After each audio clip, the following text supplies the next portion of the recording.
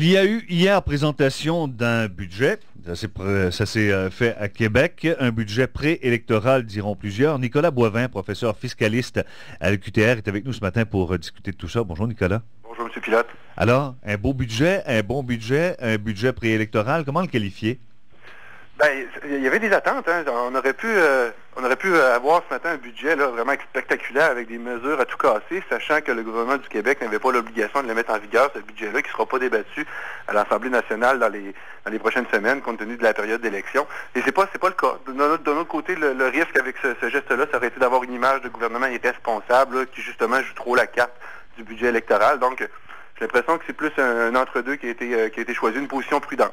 Oui, entre autres, euh, quand on parle de réduction des, euh, impôts, euh, il y a quatre ans, le gouvernement était prêt, le gouvernement libéral, on nous avait promis des baisses d'impôts d'un milliard de dollars. D'abord, on ne les a jamais vus. Non, absolument. Alors, on est plus prudent de ce côté-là. Ben oui, c'était une promesse d'un milliard de dollars par année. Et je me rappelle, je crois que c'était avec vous, on, on en avait parlé, plusieurs spécialistes disaient on souhaite juste que cette promesse-là ne soit pas rencontrée tellement elle était irréaliste.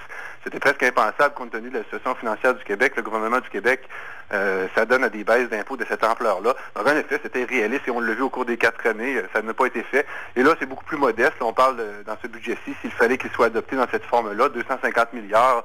Euh, millions. Hein. raisonnable et c'est que si cette chose-là devait survenir, ça serait acceptable. Oui, 250 millions, c'est acceptable. Sauf qu'en en contrepartie, les observateurs, puis même bon, les, les partis d'opposition vont nous dire qu'au même moment, on a augmenté dans la société euh, les tarifs d'électricité, on a augmenté les tarifs en garderie, etc., etc. Fait l'un dans l'autre aujourd'hui, ça fait pas de grosse baisse.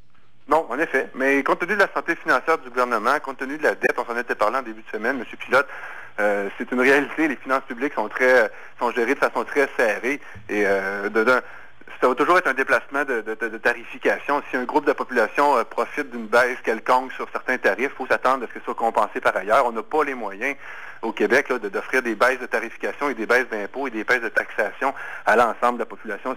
Ça, il faut tout de suite le comprendre, ce concept-là, je crois. Oui.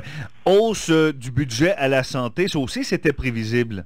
Oui, compte tenu de, plus de la plateforme électorale des libéraux, euh, c'est leur priorité. Euh, à tout le moins, c'est ce qu'ils veulent montrer comme image, comme un gouvernement qui veut s'investir prioritairement dans ce domaine-là. Donc, c'est un geste qui est conséquent avec ce qui a été annoncé dans les dernières semaines comme l'orientation de la campagne électorale. Oui. Sauf que augmentation de 6% du budget à la santé, ce sont les coûts de système qui augmentent de 6% par année. Oui, absolument. C'est probablement ce que ça prenait comme investissement pour maintenir le système. On parle euh, d'augmentation salariale pour tous les employés syndiqués et, augmentation des, coûts d'entretien. Donc, euh, est-ce que tout, moi, je suis pas un spécialiste dans ce domaine-là. Est-ce que tout ça va se traduire par des meilleurs services de santé dans les prochaines années? Sûrement pas. Si on dit que c'est des coûts de couverture et des coûts qui servent justement à, assumer la hausse des frais annuels d'entretien. Mais ça doit quand même être fait. Hein. Euh, à tout le moins, il ne faudrait pas voir le système de santé dépérir. Donc, au moins, si c'est maintenu, c'est un pas dans la bonne direction. Ouais. Euh, en terminant, en une minute, euh, ce qu'il y a de très bon là-dedans est ce qu'on aurait dû retrouver là-dedans? Euh, ben, des choses très bonnes. au niveau de la, fiscalité des entreprises, on s'attaque encore à la taxe sur le capital. C'est une taxe qui est très, qui est relativement vicieuse, qui, freine beaucoup l'investissement des entreprises. Donc encore des mesures pour la réduire. Et on a juste hâte au jour où elle disparaîtra, cette taxe-là, tellement elle n'a pas, pas son sens. Au niveau des particuliers, la baisse des taux d'impôt de 250, j'ai dit milliards tout à l'heure, c'est des millions, vous avez bien fait de me reprendre. C'est raisonnable, j'espère que ça va prendre place. Ça peut très bien cadrer dans le, dans le cadre financier du gouvernement du Québec. Et chose intéressante que j'ai remarqué aussi, on a voulu imiter un peu ce que le fédéral faisait dans les régimes enregistrés d'épargne études, c'est-à-dire aider les épargnants en subventionnant euh, d'un certain pourcentage lorsqu'ils cotisent dans un régime d'épargne études. Le gouvernement fédéral le faisait déjà. C'est difficile de faire ce genre d'épargne-là pour les jeunes familles. Donc d'avoir un aidant comme ça, un facilitant euh, du, fait que le gouvernement subventionne, c'est très bien.